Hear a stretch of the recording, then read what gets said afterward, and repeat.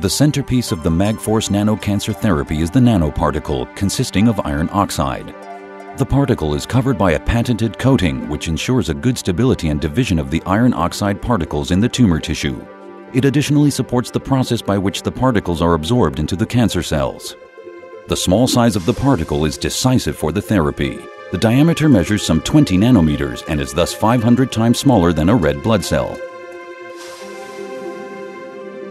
One milliliter of the particle solution contains nearly 17 trillion single nanoparticles. This high density makes efficient treatment possible.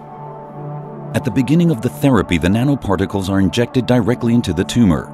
The tumor in this particular case is a glioblastoma, a malignant brain tumor characterized by aggressively growing cells. On the microscopic level, the healthy cells can be seen on the left and the tumor cells on the right. After being injected, the nanoparticles spread out in the spaces between the tumor cells. The patient now enters the therapy device in which an alternating magnetic field is produced which is of no danger to humans. This field affects a 100,000 times alternation of the magnetic poles within the particles per second, creating warmth which is precisely regulated from outside.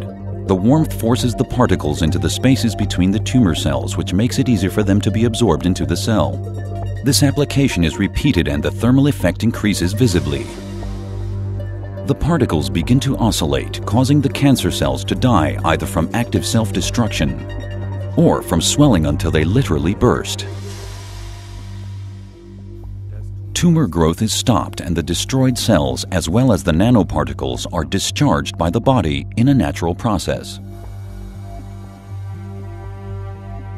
As a rule, the one-hour minimal invasive treatment is repeated six times.